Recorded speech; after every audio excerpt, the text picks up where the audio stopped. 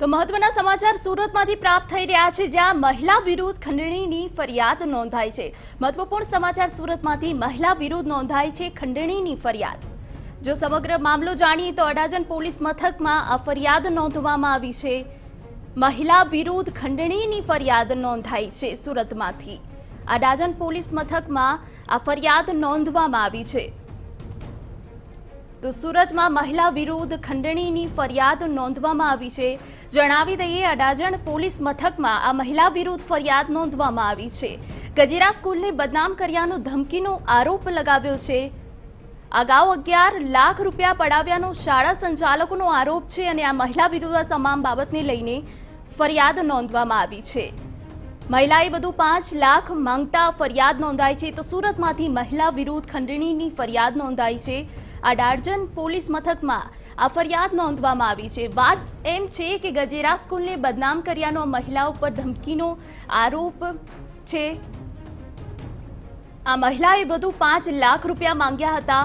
અગાઉ પણ અગિયાર લાખ રૂપિયા પડાવ્યા હતા અને હવે જઈને અડાજન પોલીસ મથકે આ મહિલા વિરુદ્ધ ખંડણીની ફરિયાદ નોંધાઈ છે.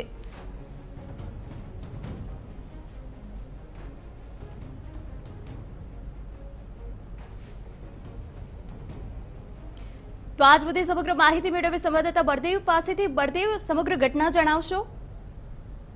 જે રીતના સુરતના અડાજણ પોલીસ સ્ટેશનની અંદર જે ગઈકાલે જે સુરતના જાણીતા ઉદ્યોગપતિ અને જે ગજેરા સ્કૂલના જે ટ્રસ્ટી છે, ચુની ગજેરા વિરુદ્ધ જે છેડતીની ફરિયાદ દાખલ થઈ હતી, ત્યારબાદ આખો મામલો જે ગરમાયો હતો, કારણ કે જે મોટું નામ ધરાવતા હોવાના કારણે અડાજણ પોલીસે આ બાબતે જે ફરિયાદ નોંધી હતી મહિલાની, ત્યારબાદ મહિલા મહિલા જે ફરિયાદી છે તેના વિરુદ્ધ પણ જે ગ્લોબલ સ્કૂલના જે સંચાલકો દ્વારા જે બદનામ કરવાની ધમકી આપી અને તેવા જે રૂપિયા પડાવવાની જે ધ્યાનમાં લઈ અને અડાજણ પોલીસ સ્ટેશનની અંદર મહિલા વિરુદ્ધ ફરિયાદ આપતાની સાથે અડાજણ પોલીસે જે મહિલા વિરુદ્ધ પણ ગુનો દાખલ કરીને તપાસ હાથ ધરી છે. પણ જે રીતે વાત કરી શકાય છે કે જે સૌપ્રથમ મહિલાએ જે ફરિયાદ દાખલ કરાવી હતી છેડતી ત્યારબાદ સ્કૂલ સંચાલક દ્વારા આ બાબતની ફરિયાદ દાખલ કરી છે. એટલે અનેક શંકા, કુશંકા વ્યક્ત કરવામાં આવી રહી છે. કારણ કે સૌપ્રથમ ત્યારે અ, અ, મહિલા દ્વારા કદાચ જો ખંડણી માંગવામાં આવ્યું હોય તો સ્કૂલ તરફથી કેમ કોઈ ફરિયાદ દાખલ ન કરે તેના પણ સવાલ ઊભા થઈ રહ્યા છે. હવે જોવાનું કે આ બાબતે અડાજણ પોલીસ કઈ દિશામાં તપાસ હાથ ધરશે? ઉદ્યોગપતિ સામે વધુ પેરાશે કે અથવા તો મહિલા બાબતે તપાસ તટસ્થ કરવામાં આવશે?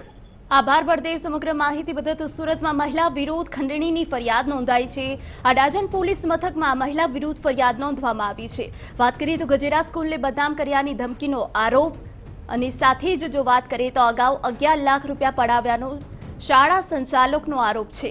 અને આ મહિલાએ વધુ પાંચ લાખ રૂપિયા માંગતા આ ખંડણીની ફરિયાદ અડાજણ પોલીસ મથકે નોંધવામાં આવી છે. પોલીસે દક્ષા દાસ નામની મહિલા સામે આ ફરિયાદ નોંધી છે.